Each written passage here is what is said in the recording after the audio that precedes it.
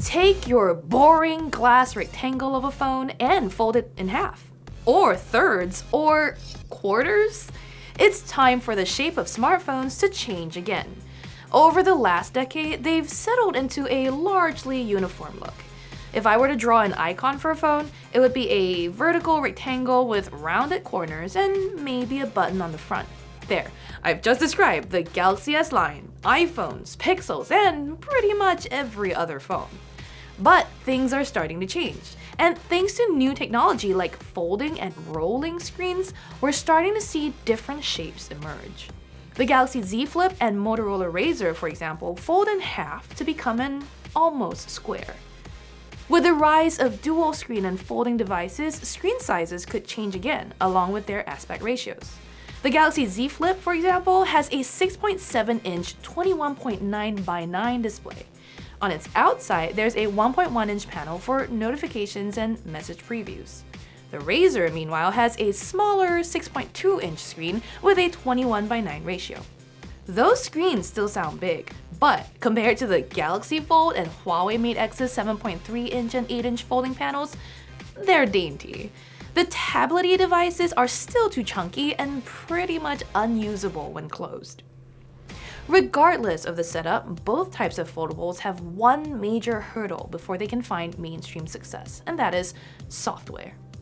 Google is still working on a foldable friendly Android, but it has to focus on an existing form factor before tackling the breadth of experimental concepts out there.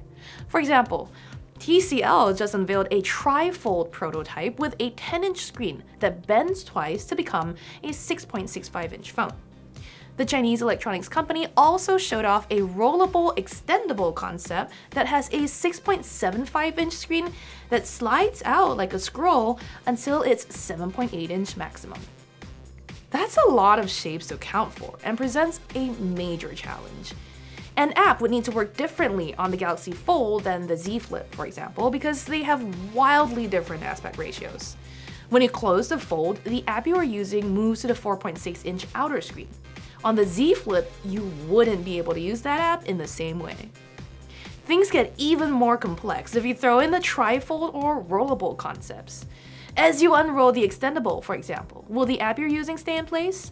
Should it adapt to the changing screen width in real time or wait till it's completely extended? How will it know when you're done opening up the screen? Though companies might choose to go with Windows 10X for larger devices, or perhaps Apple might surprise us with its own take, most of the foldables we see today are Android. It's safe to say that whatever shape works best on Android will eventually be the one that finds mainstream success. Let's be real though. Even if our phones fold, they'll still just be boring rectangles. Circular, triangular, or hexagonal phones are either impractical or impossible.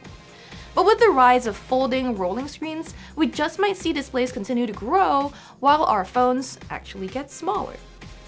If you want to keep up to speed on the latest news in folding phones, tablets, and laptops, make sure you subscribe to Engadget.